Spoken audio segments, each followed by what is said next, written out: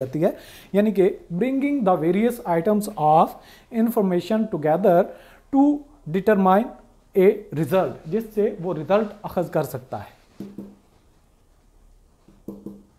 अच्छा इसके बाद है स्टेप सिक्स इंटरप्रिटिंग कि अब वो जो उसने कहा कि मेरे पास 2000 बच गया है, उसको इंटरप्रीट भी करेगा ना, कि अल्टीमेटली मुझे फ़ायदा हुआ या नुकसान हुआ तो यानी कि deciding the meaning and importance of the information in various reports वो जहाँ पे जितनी भी उसकी रिपोर्ट्स आती हैं, उनमें उसको वो रिपोर्ट करेगा, यानी कि अगर वो ट्रेडिंग अकाउंट बनाता है, उसके बाद जितने उसके एक्सपेंसेस हैं, उनको आगे चल के वो लेके जाता है प्रॉफिट एंड लॉस की स्टेटमेंट फिर आगे लेके फंस के वो बैलेंस शीट में लेके जाता है। तो आज के दिन में जितनी चीज़ें उसने की, उसका इफ़ेक्ट यहाँ पे एक दिन तक ख़त्म नहीं हुआ। वो आगे चल के बैलेंस शीट में भी शो होगा, क्योंकि उसने प्रॉफिट अर्न किया था। और हम पढ़ रहे हैं अकाउंटिंग क्योंकि सिर्फ़ एक अगर दिन के बिज़नेस की बात की जाए तो वो जेब में डाले और घर चला जाए, उससे कोई हिसाब किताब नहीं लेने वाला।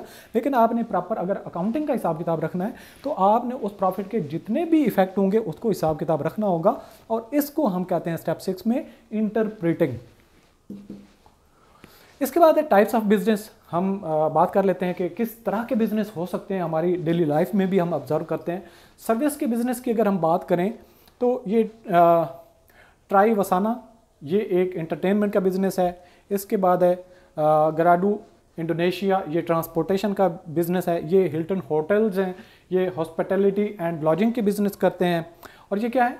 सर्विस कर रहे हैं, यानी कि सर्विस प्रोवाइड कर रहे हैं। बैंक बी आर आई है, ये फिनेंशियल सर्विसेज़ देता है। टेलीकॉम सेल जो है, ये टेलीकम्युनिकेशन की जो है सर्विसेज़ देता है। तो ये हम बात कर रहे थे सर्विसेज़ का बिज़नेस यानी कि जिसमें प्रोडक्ट इन्वॉल्व नहीं होती, बल्कि सिर्फ़ और सिर्फ़ इंसान के जो काम की बात होती है, यानी कि उसको सर्विस करता है सर्विसेज़ देता है प्रोडक्ट का लेन देन नहीं होता। इसके बाद मर्चेंडाइजिंग का आइटम यानी कि चीज़ें लेन देन अब चीज़ें इसमें इन्वॉल्व हो जाती हैं। इसमें मटहारी है, ये जनरल मर्चेंडाइज है। इसके टॉयज सिटी है, ये टॉयज़ है, यानी कि टॉयज एक जगह से लेते हैं, बनाते हैं और देते हैं। ये मर्चेंडाइजिंग का बिज़नेस है। इलेक्ट्रॉनिक सिटी है कंज्यूमर इलेक्ट्रॉनिक्स है अमेजोन डॉट कॉम है। ये क्या है? इंटरनेट बॉक्स वगैरह म्यूज़िक या वीडियोस वगैरह रिटेलर का जो काम करते हैं ये इनकी प्रोडक्ट होती है और ये मर्चेंडाइजिंग का काम करते हैं। मर्चेंडाइजिंग का मतलब का, क्या होता है कि एक चीज़ लेता है और दूसरा चीज़ देता है और उसके बदले में जो चीज़ लेने वाला है वो पेमेंट करता है और जो चीज़ देने वाला है वो पेमेंट रिसीव करता है। इसके बाद है मैन्युफैक्चरिंग का बिज़नेस मैन्युफैक्चरिंग का आपने ये एक समझना है कि जो हमने मर्चेंडाइजिंग की हमने जो मर्चेंडाइजिंग की, जो बात की थी, उसमें एक कंप्लीट हमारे पास प्रोडक्ट अवेलेबल होती है, जो कि उसमें वो काम का नहीं होता। सर्विस की बात है कि उसमें कोई चीज़ इन्वॉल्व नहीं होती। अब सॉरी फॉर दैट इतना श्योर आपको पड़ रहा है कि अब हम मैन्युफैक्चरिंग की बात करते हैं तो मैन्युफैक्चरिंग का एक बिज़नेस ऐसा होता है जिसमें हमारे पास रॉ मटेरियल होता है, जिसको हम मशीनरी में डालते हैं और प्रोसेस करते हैं। यानी कि ये टोयटा एस्ट्रा मोटर है, ये कार्स और ट्रक्स बनाते हैं, इनके पास रॉ मटेरियल आता है, जिनमें प्रोसेसिंग करते हैं और चीज़ें बना के फिर वो प्रोडक्ट बनाते हैं। अपनी इंटेल है कंप्यूटर की चिप्स बनाते हैं बोइंग है, ये जेट एयरक्राफ्ट बनाते हैं। अब एयरक्राफ्ट ऐसे ही नहीं बन जाता, उनके पास रॉ मटेरियल आता है और चीज़ें बनती हैं। इस तरीके से एडिडॉस है, ये एथलेटिक के शूज़ एंड अपेरल चीज़ें बनाते हैं। इसके अलावा कोका कोला ये बेवरेज यानी कि मशरूबात बनाते हैं। इसके अलावा पोलिट्रॉन है, ये स्टीरियोज एंड टेलीविज़न वगैरह बनाते हैं। तो ये क्या है? मैन्युफैक्चरिंग का बिज़नेस है जिसमें रॉ मटेरियल आता है प्रोसेस होता है आउटपुट बनता है। इसके बाद there are three types of business organisation अगर ये हमने बिज़नेस की बात की, यानी कि सर्विस सेक्टर हो सकता है मर्चेंडाइजिंग यानी ट्रेडिंग का बिज़नेस हो सकता है मैन्युफैक्चरिंग जिसमें चीज़ें मोल्ड की जाती हैं बनाई जाती हैं। ये बात हो जाए। अब ये तो होगी प्रोडक्ट यानी कि लेन देन का हिसाब किताब बिज़नेस किस तरह का हो सकता है। अब हम ऑर्गेनाइजेशन जो बिज़नेस कर रही होती है ये किस नेचर की होती है मलकियत के लिहाज से, हिसाब किताब के लिहाज से। प्रोप्राइटरशिप है पार्टनरशिप है और कारपोरेशन है। पार्टनर प्रोप्राइटरशिप है, इसमें एक इंडिविजुअल होता है जो अपना बिज़नेस करता है और अपनी उसकी चीज़ें जितना कैपिटल लगाता है और उससे बिज़नेस करता है। तो ये हो जाता है प्रोप्राइटरशिप पार्टनरशिप ये होता है कि जब एक से ज़्यादा लोग इकट्ठे हो जाते हैं और वो बिज़नेस करते हैं तो उसके जवाब में जो उनको अर्निंग होती है, वो सारी की सारी डिस्ट्रीब्यूट कर लेते हैं और इसमें ट्रस्ट सॉरी पार्टनरशिप डीड होता है जिससे वो मुआदा करते हैं आपस में जितने भी पार्टनर्स होते हैं और कम अज़ कम दो पार्टनर्स होने चाहिए, दो से ज़्यादा। अगर बैंकिंग सेक्टर है तो 10 उसमें तादाद होती है और अगर नॉर्मल बिज़नेस है तो उसमें 20 मैक्सिमम तादाद होती है पार्टनरशिप की अगर बात करें। तो कारपोरेशन की अगर बात करें तो ये बिज़नेस ऐसा है जिसमें कम अज़ कम पहले जो है वो सात मेंबर्स होते थे, लेकिन अब पाकिस्तान की अगर बात करें तो उसमें अमेंडमेंट हो चुकी है जो कंपनी ऑर्डिनेंस नाइनटीन तो उसमें प्राइवेट कंपनी के लिए एक ऑनर भी हो सकता है और अगर पब्लिक कंपनी तो उसमें दो भी हो सकते हैं जो कंपनी बना सकते हैं। पहले सात तादाद थी पब्लिक कंपनी के लिए। तो ये कॉरपोरेशन है।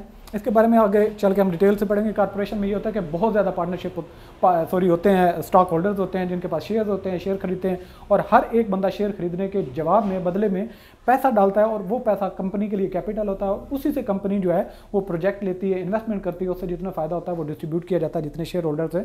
और शेयर होल्डर्स को दो तरह का प्रॉफिट होता है, एक तो होता है डिविडेंड यानी कि सालाना उनको कुछ उसका जो प्रॉफिट कंपनी अर्न करती है, उसका हिस्सा दिया जाता है, जिसको हम डिविडेंड कहते हैं। और दूसरा ये होता है कि अगर कंपनी जो है वो डिविडेंड नहीं दे रही और उसके पास रिटर्न अर्निंग्स हैं और प्रोजेक्ट में इन्वेस्ट करती रहती है और उससे जो फ़ायदा होता है कंपनी की वर्थ बढ़ती है। और वर्थ बढ़ने से स्टॉक एक्सचेंज में कंपनी के शेयर की वैल्यू बढ़ना शुरू हो जाती है और शेयर की वैल्यू बढ़ने की वजह से तो जो कम जो जो शेयर होल्डर होता है, उसकी वैल्यू बढ़ना शुरू हो जाती है।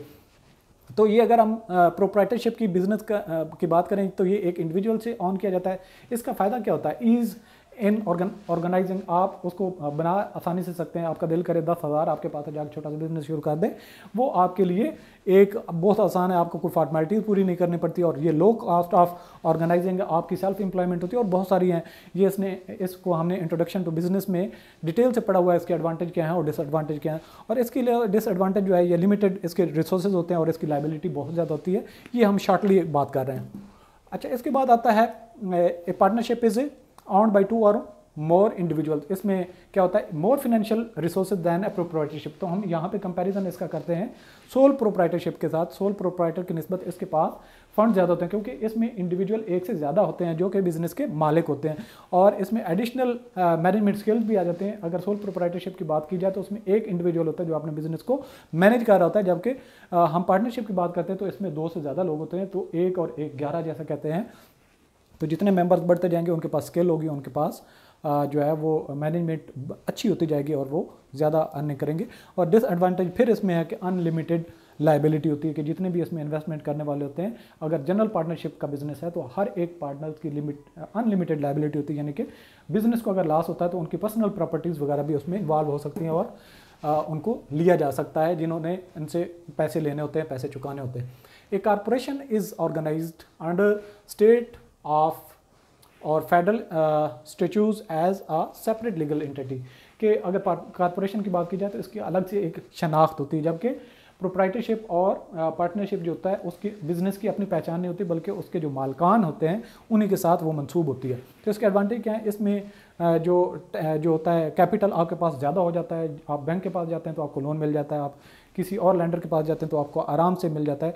डिसएडवांटेज इसके क्या हैं? डबल टैक्सेशन इसमें होती है क्योंकि कंपनी खुद टैक्स पे करती है और उससे जितना फ़ायदा इंडिविजुअल जो इन्वेस्टर होता है जो शेयर होल्डर होता है वो अर्न करते हैं वो फिर उस पर टैक्स देते हैं। तो आज का लेसन यहाँ पे ख़त्म करते हैं।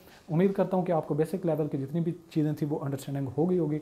इंशाल्लाह नेक्स्ट टॉपिक में मिलते हैं और डिटेल से और आगे चीज़ें लेके चलते जाएँगे और इंशाल्लाह इसी तरीके से जब तक आप चीज़ों को सही तरीके से अंडरस्टैंड नहीं करते कंसेप्ट आपका स्ट्रॉन्ग नहीं होता, चीज़ों को छोड़े मत।